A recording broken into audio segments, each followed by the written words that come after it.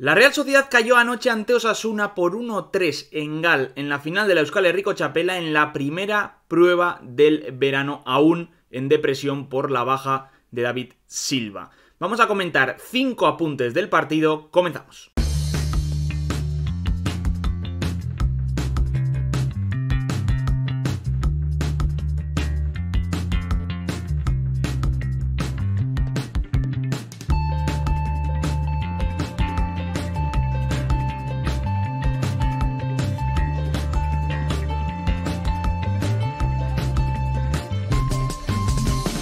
Hola, ¿qué tal? Muy buenas a todos los rinconeros, a todos los churiurdin que estáis viendo este vídeo. y venimos a hablar del Real Sociedad 1 Osasuna 3 que supuso ayer el primer amistoso y por tanto la primera prueba de la pretemporada de la Real Sociedad. Cierto es que Osasuna marcó tres goles, los tres Catena y los tres a balón parado.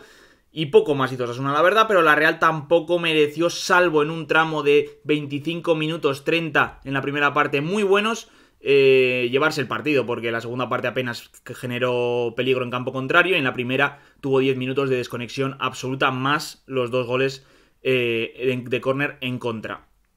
Se llevó a la chapela, que es lo de menos, en un día en el que faltaba mucha gente en la Real, porque Sadik, que era el más esperado, fue baja por una sobrecarga en el aductor. No estaban los internacionales Traore, Zuimendi, Cubo, Lenormand y Merino. Tampoco estaba Gotti lesionado, tampoco estaba Turrientes y tampoco estaba evidentemente David Silva. Por tanto, había mucho joven, algunos que ni siquiera han entrenado con la Real en estas semanas y que supusieron algunos debuts interesantes que luego comentaremos porque ya os adelanto que es uno de los puntos a destacar. Empezamos con el primer apunte, pero Primero os voy a pedir que nos sigáis en redes sociales, en Twitter, donde ya hemos superado los 10.000, en Instagram, donde estamos en 14.200, en aquí en YouTube, donde ya hemos superado la barrera de los 3.000 suscriptores, que es una auténtica locura y que os lo agradezco un montón. Y también, evidentemente, en TikTok y en la plataforma de directos morada. Y ahora sí, el primer apunte del partido para mí es que Imanol eligió a Bryce por un lado en la primera parte y a Navarro en la segunda para hacer de Silva, es decir, ese interior de última altura en el 4-3-3 de, la Real Sociedad. En la primera parte, Bryce la verdad es que estuvo muy bien. Es una de las grandes noticias de la pretemporada junto con el partidillo del otro día interno en Anoeta, que me gustó mucho también. Ayer estuvo, es verdad que de más a menos en los primeros 45 minutos, pero me encantó su movilidad, su electricidad con balón, qué rápido movía de lado a lado, jugando a uno dos toques, acertando pases, acertando controles, acertando apoyos, acertando rupturas incluso, aunque no se la dieron en alguna ocasión, y se entendió a las mil maravillas con sus compañeros de centro del campo y también con Momo Cho y Carlos Fernández por delante. Entonces, me gustó mucho Bryce haciendo de Silva, una manera de reivindicarse de que aquí estoy yo y que no hay que tener tanta preocupación. Veremos si evoluciona y si Manuel sigue apostando por él en esa posición y no en la de segunda altura, que yo creo que sí, que será así pero a mí me gustó bastante y por tanto estoy poco preocupado por la parte de Bryce porque también empezó el año pasado como un tiro y este año, si no es el mejor de los dos partidillos que he visto, eh, en el conjunto, pues cerca andará, porque la verdad es que me está gustando mucho y su presencia y omnipresencia en el juego de la Real siempre va a ser buena noticia. No tanto como la del 2023 eh, que fue algo más discreto y esta perdió la titularidad. En la segunda parte fue Robert Navarro el encargado de hacer de Silva, en una segunda parte con muchísimo menos ritmo entre los dos equipos, no solo cuestión de la Real, con mucho menos nivel también sobre el terreno de juego, había mucho chaval y los que no eran chavales tampoco marcaron la diferencia. Hubo menos ocasiones, menos llegadas, menos contraataques, menos jugadas rápidas y menos jugadas largas asociativas de lado a lado que acabasen en portería. Navarro no estuvo mal, pero tampoco estuvo bien, vamos a decirlo. estuvo discreto. Eh, de cara a portería apenas hizo un quiebro brutal, eso sí, a David García, que lo dejó, lo mandó hacia el otro lado engañado completamente. Y todo lo demás fueron dejadas de cara, descargas para seguir jugando en la parte de atrás. Así que poquito de Navarro y también poquito de su acompañante, que luego hablaremos. El segundo punto del día es la alta participación en el juego y, para mí, buen partido de Momocho y Carlos Fernández. El galo, empezamos con él, vamos a decir que fue el protagonista del día de la Real en cuanto al juego porque marcó un golazo brutal. Entonces la gente, pues evidentemente las fotos van para él, la celebración y todo. Pero es que estuvo activo en casi todos los ataques de la Real, participó, eh, participó el francés, escolado en la banda derecha, haciéndole mucho daño a Juan Cruz, que le ganó prácticamente en todos los duelos. Jugando al contragolpe, jugando en estático, jugando a encarar y sacar centro, jugando a encarar y dejar atrás, jugando a tirar, o sea, lo hizo prácticamente todo y la verdad es que me ilusionó bastante el partido de Momocho que veo un cambio brutal, en, sobre todo en toma de decisión, del año pasado, de cuando llegó, que ya también se le veían cosas, a este. O sea, tremendo. Pese a que le ha lastrado las lesiones un montón este año, veo un cambio tremendo eh, futbolístico del bueno de Momocho, que estuvo muy bien y muy cerca de hacer asistencias en muchos momentos y que al final marcó un golazo con un latigazo brutal en una pared excelsa con Gorrochategui viniendo desde atrás y, que quedó muy bien el gol, ¿no? Palo largo con la zurda, pegado al palo, golazo, celebración de las, de las que le gustan y, si no me equivoco, tercer gol, de hecho, con la Real, dos en partidos oficiales y este. Eso sí, estuvo cerca de hacer la jugada del día, es fue en un contragolpe brutal, que coge Remiro el balón, creo que en un centro, sin pensarse dos veces, da ese un pase picado de esos con la mano en profundidad, que le está medido al milímetro para que Cho llegase a ese balón justo por delante del defensa de Osasuna, encaró Cho hasta la frontal, su pase se quedó un poquito atrás en vez de ir en ventaja hacia Olasagasti y Olasagasti solo pudo disparar con la derecha y sacó una buena mano abajo a Aitor Fernández, la verdad, pero fue yo creo la jugada más bonita de todas las que, de todas las que hubo, pero Momo Cho, gran partido. Y Carlos Fernández, que es la otra parte de este apunte, pues me gustó bastante. Es verdad que tuvo 10 minutos feos los primeros, tuvo un error garrafal en el 0-1, que deja pasar un balón, que luego se da cuenta él porque se lleva las manos a la cabeza, que no tiene ningún sentido dejarlo pasar, deja vendidos a todos los que tiene detrás. Y a partir de ahí se activó, la verdad, y estuvo bien descargando, bien buscando las rupturas, hace un amago escandaloso para luego marcharse a un pase raso de Zubeldia desde atrás, que fue muy, muy chulo. La verdad es que luego no se atrevió a meter el pie, que tuvo varias de esas, que no se atrevió a meter el pie ante el portero, pero que estuvo muy bien. Luego le roba la cartera en una catena y se queda solo ante Aitor y, fusila en vez de buscar las esquinas, eh, que es un poco lo que le puede, ¿no? Yo creo la definición. Está tan ansioso que, hace a veces por reventar, por hacer como sea y al final el balón va al medio, fuera o como, como sea en vez de ir a donde tiene que ir, que es a guardar, ¿no?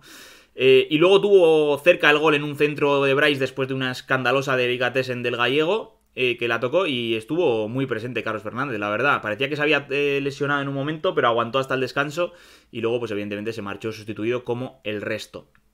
Pero me gustaron los dos, los dos en este partido y, la verdad es que son necesarios, visto que es ahí que está con sobrecarga, que solo no, ha llegado todavía, que eh, Barrene no está todavía, que Oyarzabal no está al nivel. Eh, yo creo que son, son necesarios y van a ser activos importantes. El siguiente apunte es evidentemente algo negativo, porque no todo es positivo. Eh, la debilidad aérea de ayer de la Real en el balón parado fue inaceptable. O sea, sea un amistoso, un bolo, una exhibición, un partido de veteranos o un partido de jubilados. Eh, no fue aceptable lo que hizo ayer la Real en el balón parado. No tiene ningún sentido, además, porque Catena es bueno de cabeza, evidentemente, pero no como para marcar un hat-trick en 34 minutos en tres acciones que tuvo porque él tuvo tres y metió las tres, pero hubo alguna más también donde no estuvo bien defendido y Torro, por ejemplo, mandó fuera en el minuto 3 un balón eh, teniendo todo a favor en un córner que también se defendió mal, porque llegó absolutamente solo. No solo es que Catena rematase los tres balones, es que los remató solo y sin ninguna oposición cercana. O sea, que no es lo mismo eh, rematar solo porque le has ganado la espalda o porque eh, no tienes una oposición cercana. No me pareció aceptable. Es verdad que parece que la marca era de cantero más que de, otro, pero se podía haber puesto de acuerdo con otro, con, Zube, con Zubeldia, con alguno de los grandes de, la parte ofensiva. Y no, no, lo hizo, o sea, eh, Remiro tampoco sale en ninguno de los centros, cuando alguno sí que podía ser suyo, sobre todo el último, yo creo. Pero no, no entendí muy bien. Es verdad que no estaba Lenormand, que es el as de todo esto. Es verdad que luego entró Aritz y ya se fue Catena y no hubo tanto balón aéreo y no se pudo medir un poco entre la diferencia entre la primera parte y la segunda. Pero ni Zubeldia ni Cantero, ni tampoco los demás que estaban por ahí, Gorrochategui que es pequeñito, Remiro que no salió, los laterales, etcétera, no ganaron ni un balón por alto. Y esto no es aceptable y por eso se llevó la chapela Osasuna, que si llega a ser un partido más importante, se lo hubiera llevado igual, por esta misma razón. O sea, Osasuna no hizo más que la Real, pero sí que fue muchísimo más contundente en ese aspecto y súper práctica. Hizo bien, buenos centros, buen remate, cero defensa, tres goles. Es lo que hay. Siguiente apunte, el cuarto, también es una, vamos a decir, discreta noticia porque precisamente, y valga la redundancia, estuvieron muy discretos en el partido Pablo Marín, Urco González de Zárate, John Carricaburu o Robert Navarro. Cuatro de los grandes alicientes del día de ayer que la gente quería ver, ¿no? Sobre todo a los del centro del campo, porque Guevara y Yara se han ido, porque Zubimendi no está, porque Silva se ha eh, lesionado, Marín era el, un poco el sustituto, y estuvieron realmente discretos los cuatro en la segunda parte, en una segunda parte que no les ayudó. Un contexto adverso, vamos a decir, por ese aspecto, por esa parte, que es un poco lo que le pasa siempre a Caricaburo en la Real, que siempre ha jugado en contextos que no le benefician en absoluto, que el partido está ya muerto, que se juega lo que él no quiere, que le expulsan a uno y tiene que correr como el que más. Bueno, en definitiva, que la Real apenas jugó, Marín se le vio cero en el interior izquierdo en esa segunda altura. Urco estuvo correcto y discreto en el pivote, muy, mucho más que su, que su compañero en la primera parte, del que luego hablaremos. Y Navarro apenas participó en el ataque. Carecaburo estuvo aisladísimo arriba, no tuvo opciones de remate, no tuvo opciones de, abrir a banda, no tuvo grandes eh, momentos y se les vio muy poquito a los cuatro. Eh, que son cuatro que tienen que dar un paso adelante. Carecaburu, sea aquí o fuera, y los otros tres aquí. Veremos cómo avanza la pretemporada y si el martes ante el Sporting tienen minutos otra vez y lo hacen un poquito mejor. Y por último, quiero destacar una buena noticia para acabar bien el partido con ilusión, con optimismo. Vamos a mirar hacia adelante que la Real juega Champions este año, Youth League, de todo, tiene una cantera brutal y pese a las malas noticias hay que seguir adelante. Los debuts, porque ahí está el futuro de la Real. Más allá de los debuts de Yago Cantero, Azcune, Dadie o Eneco Astigarraga, que están muy bien, pero que tienen menos relevancia bajo mi punto de vista en clave primer equipo y en clave futuro, quizá el de Astigarraga un poco más, eh, quiero destacar dos grandes debuts. El primero, el de John Martín, que fue precisamente el último en entrar al campo en el minuto 71. ¿Por qué destaco el debut de un central que aparece sin que nadie parece conocerle en el 71 de un primer amistoso en Irún? Pues porque este chaval del que estoy hablando es del 2006 tiene 17 años recién cumplidos, es internacional sub-17 con España y es uno de las grandes joyas de Zubieta de las que venimos hablando tiempo en este canal y por eso también siento un poquito de orgullo, ¿no? Que están llegando ya los jugadores de los que hemos estado hablando cuando prácticamente nadie les conocía. John Martín jugó 20 minutos correctos, que es lo de menos, pero va a recordar este día para siempre porque pocos días después de debutar entrenando con el Sanse ya, siendo juvenil de segundo año en la pretemporada, eh, debuta con el primer equipo contra todo pronóstico y en un escenario muy chulo. Zorionak de verdad a John, hay jugador aquí, hay mucho talento y tiene un futuro muy prometedor y una planta terrible en directo. Es brutal la planta que tiene el central Las Artearras. Zorionak Berris, John.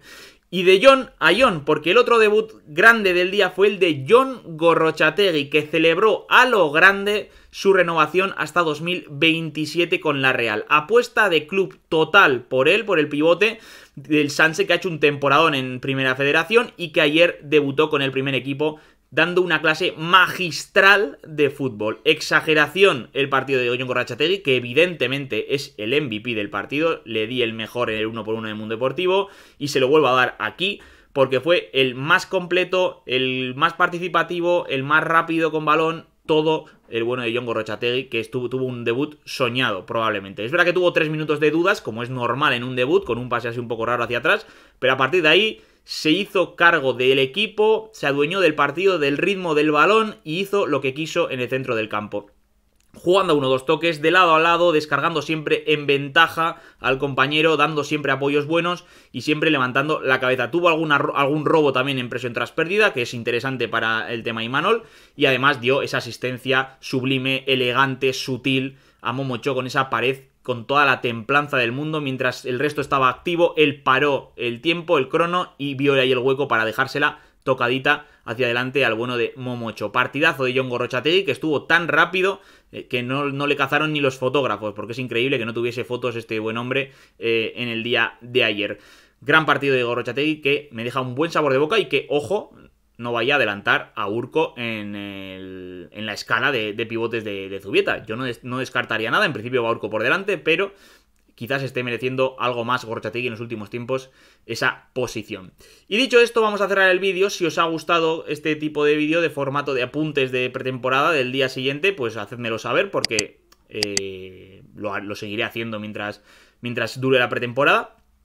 Y si me, comentáis también cualquier cosa del partido de la Real, de algún jugador que os haya gustado, de algún jugador que no os haya gustado, de la pena de no ver a Sadik, etcétera, etcétera, etcétera. Seguidnos en redes sociales, aquí en YouTube también para seguir creciendo, ya vamos a por los 4000. Queda mucho, pero iremos a por ello con, con ganas y convicción.